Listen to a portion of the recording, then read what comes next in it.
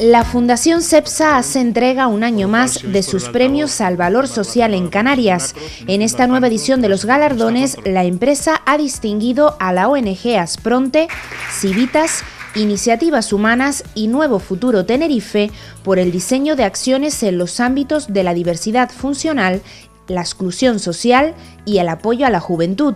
Los premios al valor social añaden como dato de excelencia el hecho de haber sido apadrinados o amadrinados por los propios trabajadores de la compañía. Este ya es la doceava edición y para nosotros es un verdadero orgullo